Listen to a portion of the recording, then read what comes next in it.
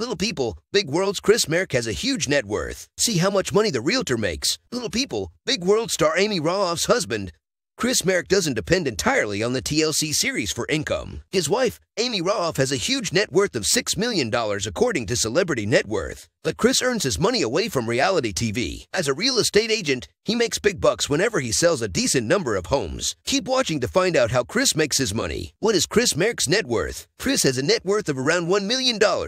According to multiple sites, such as Distractify and Stars Offline, Chris has his own real estate business in Portland Oregon named Keller Williams Real Estate. Not only that, but according to Zillow.com, he is also a part of the Knives Realty team. The realtor, who is now 60 years old, has sold a wide variety of homes throughout the Portland area and has been in the business for 23 years. As of 2022, he has sold more than 70 homes with some closing prices listed above $500,000 according to the real estate website. The About Me section of Chris on the Zillow.com website reads, I take great pride in offering superior service to my clients. If you're in the market to buy or sell a home, please give me a call. I'd be happy to discuss your needs and provide advice at no obligation to you. According to Salary.com, Glassdoor, and ZipRecruiter, the average salary for a realtor in his area ranges from $40,000 to $310,000 per year. Chris Marek was a photographer. Chris succeeded in the real estate business, but he was a photographer. However, he did not publicize many of his past works. Chris Marek has worked for Amy Roloff's ex-husband Matt. Although Chris probably isn't relying on the Roloff farm for extra income,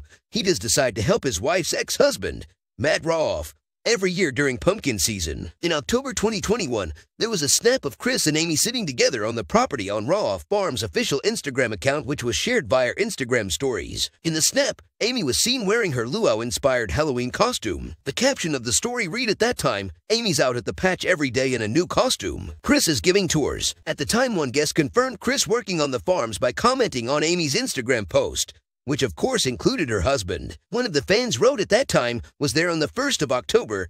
The farm is beautiful. I had a great time meeting you, and Chris did an awesome job during the wagon tour. Good times.